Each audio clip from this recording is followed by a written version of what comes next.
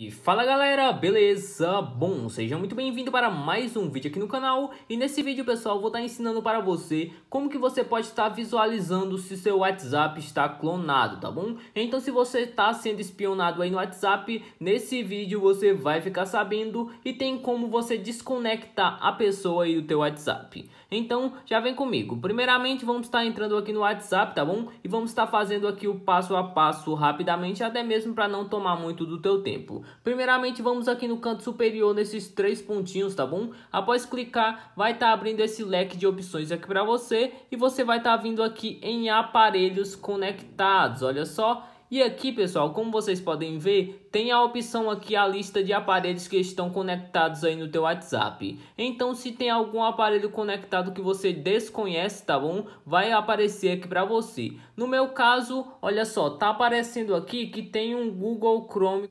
conectado no meu WhatsApp. Então, se eu não tenho conhecimento sobre esse aparelho, eu posso estar simplesmente desconectando. Vale lembrar que você está acessando o teu WhatsApp por esse aparelho, então ele não vai estar aparecendo aqui, tá bom? Então, qualquer outro aparelho que esteja conectado aqui no teu WhatsApp é outro aparelho que você não está usando no momento. Então, no meu caso, esse aparelho aqui eu desconheço, tá bom? Para você estar desconectando, clicou no aparelho, olha só, e após isso clica nesse botão aqui embaixo desconectar, tá bom? Olha só, automaticamente vai começar aqui a ser feita a desconexão e o aparelho aí vai sumir da lista, não está mais conectado no teu WhatsApp. Então simplesmente é isso, pessoal. Você vem aqui em aparelhos conectados e se caso tiver alguma pessoa que está acessando o teu WhatsApp, vai aparecer aqui para você. É um jeito bem simples, mas várias pessoas desconhecem esse método. Então se eu te ajudei com esse vídeo, não esquece de deixar teu like e se inscrever no canal aí embaixo, porque isso me ajuda bastante. E dito isso, a gente se vê